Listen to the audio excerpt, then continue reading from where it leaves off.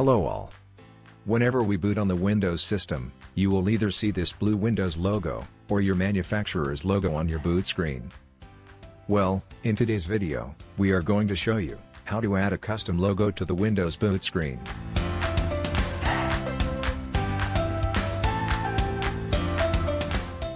So the app we were talked about is called HackBGRT by Metabolix.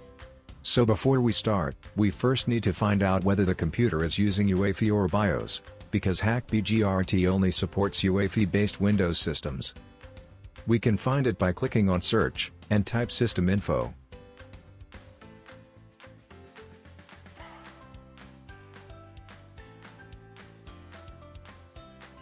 If your PC uses BIOS it will display Legacy, and if your PC uses UEFI then it will display UEFI, like what you see here.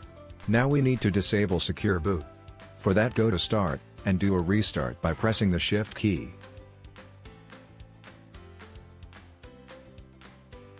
Inside choose an option, select Troubleshoot. Then Advanced option. Now select UEFI firmware settings. Click on Restart. Now we are in the laptop firmware, note the different brand PC has a different interface. Now look for the Secure Boot option, and disabled it. Now exit by saving the changes. Once the Secure Boot has been disabled, go to the GitHub site, and download HackBGRT. So after download, open the setup.exe. Now it will pop up two windows, let's click on this window. And hit I to begin the installation. We can close this notepad. Now paint window will open with the default image. You can draw your image or copy and paste the image here. Click on open, and select the image.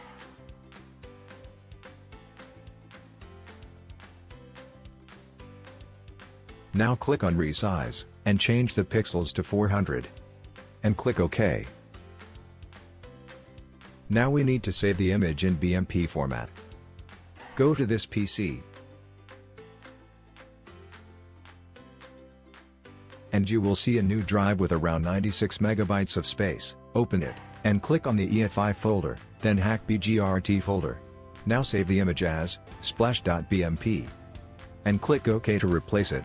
Now close the Paint and CMD. After the images are saved, close the program, and do a reboot to see the change.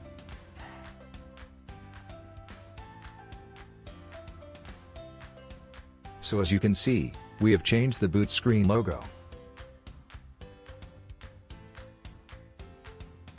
If you want to remove the custom logo and restore it with the original logo, you can easily do it by going back to startup.exe. And instead of I, you need to hit D. Now, it will reset it with the original logo. You can hit I, if you want to change to a new custom logo, or even resize the existing logo to make it match your taste. The main thing you need to consider while creating the logo is, you need to use a black background.